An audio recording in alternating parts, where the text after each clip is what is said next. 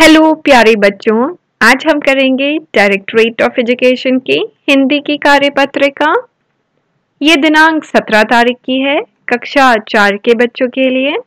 क्रम संख्या 134 यहाँ अपना नाम, यहाँ अपने शिक्षक व शिक्षिका का नाम लिखेंगे। वाक्यांश के लिए एक शब्द। प्यारे बच्चों, आइए आज कुछ नया सीखते हैं। इन दोनों वाक्यों को पढ़िए। सुरेश लोहे की चीज़ें बनाता है, सुरेश लुहार है।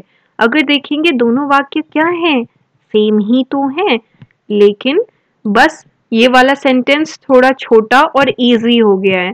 तो जो लोहे की चीज़ें बनाता है, उसे क्या कहते हैं? लुहार। इन दोनों वाक्यों में एक ही बात कही गई है, परंतु दूसरे वाक्य में लोहे लोहे की चीज़ें बनाता के स्थान पर लोहार शब्द का प्रयोग किया गया है। इससे यह वाक्य सरल व छोटा हो गया है। कभी कभी किसी बात को कहने के लिए बहुत सारे शब्द न कहकर एक ही शब्द का प्रयोग किया जाता है। जैसे, हम ये नहीं बोलते जो कपड़े सिलता हो, उसके लिए सिंपल दर्जी, जो साथ पढ़ता हो, सहपाठी। अब प्रश्न एक, नीचे दिए गए चित्रों को देखकर अनेक शब्दों के लिए एक शब्द लिखिए। डाक बांटने वाला जो डाक बांटता हो, डाकिया। तो ये लिख दिया मैंने, डा, ये रहा डा, की, या, डाकिया। अगला, गीत गाने वाली तो जो गाना गाती है सिंगर, वो है गा ई का, गायिका। ठीक है? गायिका और पौधे लगाने वाला माली। पौधे लगाने वाला कौन होता है? माली। माली। माली।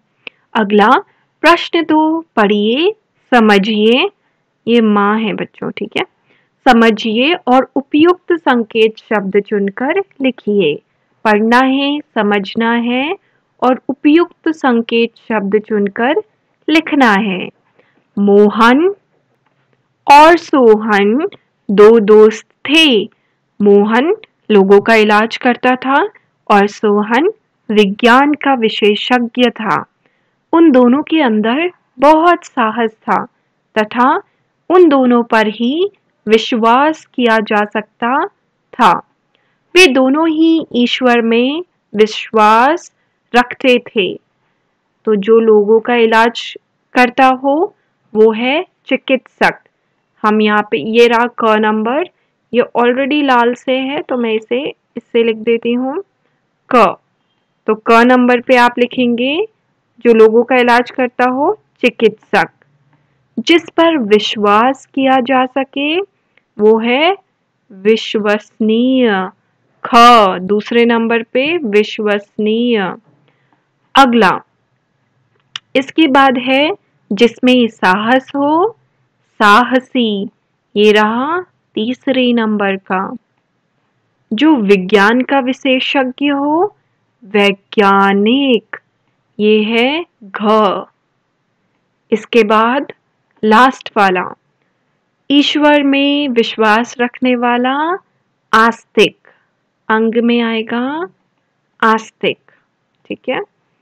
तो देखो, इसे दोबारा पढ़ो, इन शब्दों का प्रयोग करते हुए। मोहन और सोहन दो दोस्त थे। मोहन, क्या था? लोगों का इलाज करने वाला क्या होता है? चिकित्सक। तो मोहन चिकित्सक था और सोहन वैज्ञानिक था।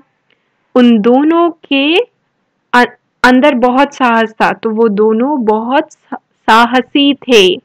तथा उन दोनों पर ही विश्वास मतलब वे दोनों ही क्या थे? विश्वसनीय थे।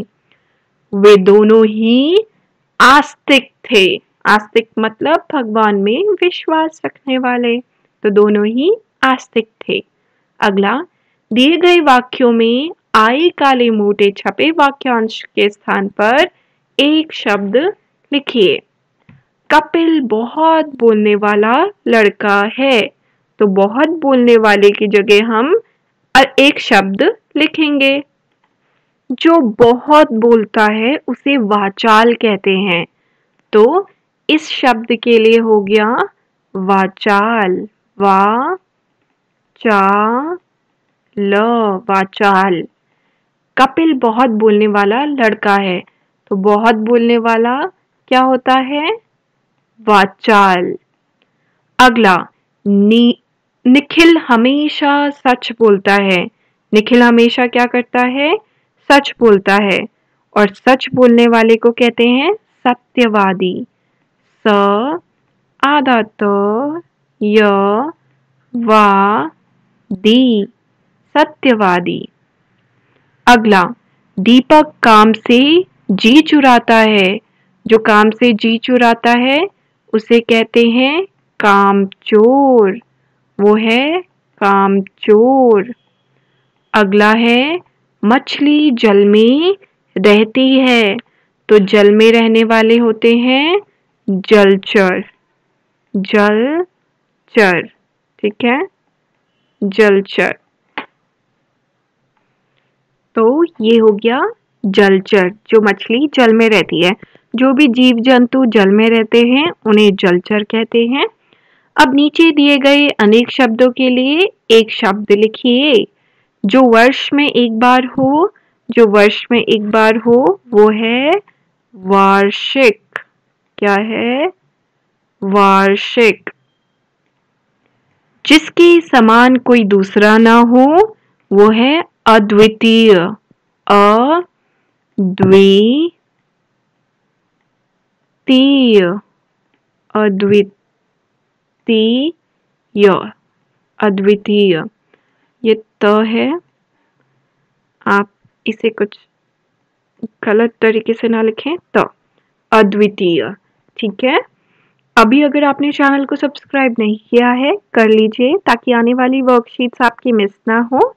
और अभिभावकों के लिए सुझाव, मम्मी पापा के लिए, बच्चों को हमारे सहायकों जैसे सफ़ाई, कर्मी, मोची, डाकिया, मिस्त्री लुहार आदि के काम का महत्व बताएँ और कोविड 19 से बचने के लिए हाथों को नियमित रूप से धोते रहिए।